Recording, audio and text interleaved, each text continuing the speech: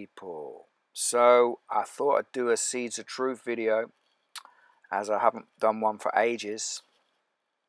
Um, and I thought this one is uh, relevant and good timing.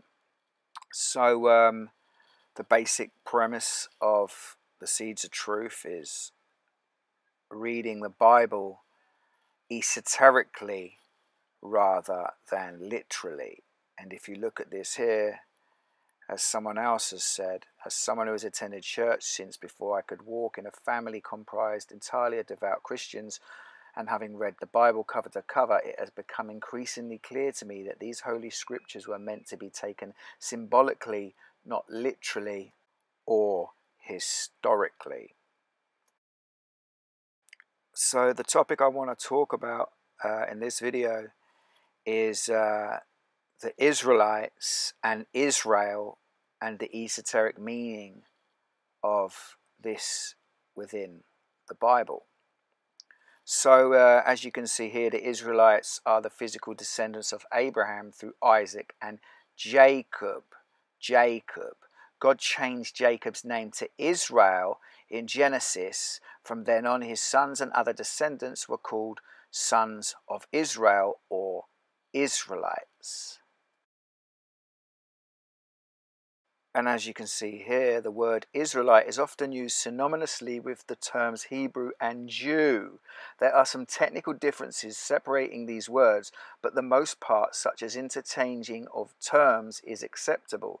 We sometimes refer to the Israelites or Jews as God's chosen people. Now, this has nothing to do with being born into a religion this is a spiritual transformation. And as you can see here, it says, But he is a Jew, which is one inwardly, and circumcision is that of the heart in the spirit and not in the letter, not literally. So, where does the word Jew come from? So, if we look here, the term Jew is derived from the name of Jacob's fourth son, Judah, Yehudah in the Hebrew.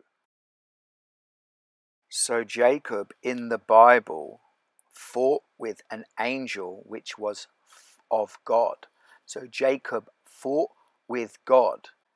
And when he had finished fighting with God, he was named Israel, for he saw God face to face, and he named this place pineal, like the pineal gland in the brain or the third eye. And this is why the spine is known as Jacob's ladder. And Israel comes from Isis, Ra, El, Elohim, electricity. And the esoteric meaning of Egypt in the Bible is the lower self. And the esoteric meaning of Israel in the Bible is the higher self.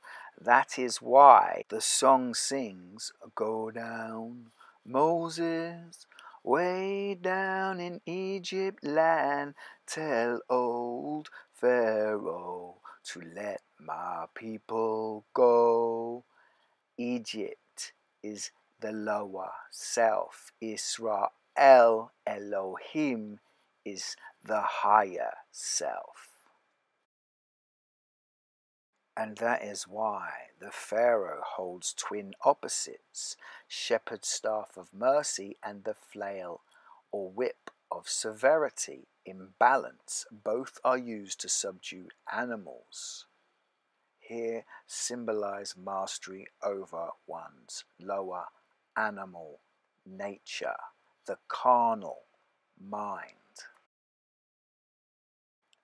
This represents balance, like the middle pillar, like the Christ and the two prisoners like the yin and the yang. So the question remains are you one of God's chosen people. Peace. Wake up, wake up, you are the got the whole of the universe.